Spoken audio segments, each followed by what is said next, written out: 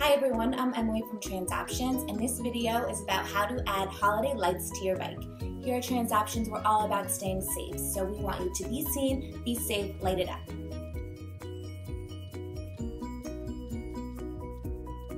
You'll only need four items for this project. Tape, I'm using masking tape today, but you can also use duct tape or electrical tape for a more secure fit.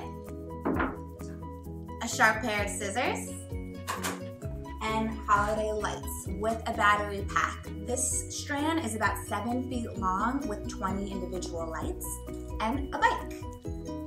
So now that we've gathered all of our materials, the first step is to mount your lights on your wheel. So you're going to count the spokes to make sure that you know how to evenly mount those lights. So the bike I'm using today has 40 spokes, so I have 20 lights. So I'm gonna skip a spoke in between each light that I mount. And I've also pre-cut the tape in order to speed that process along.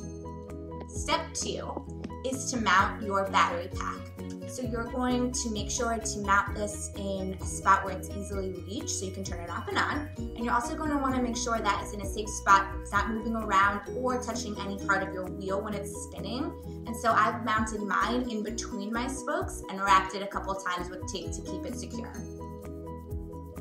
Step three, and our final step, is to check your bike before you head out on the road. So you're gonna do an ABC quick check. Air, brakes, chain, quick release. And also get on your bike and listen and ride and see if there's anything that sounds a little off to address it before you head out on the road. Thank you again for watching our video. Everyone here at TransOptions wishes you a very happy, healthy, and safe holiday season. And remember, be visible, light it up.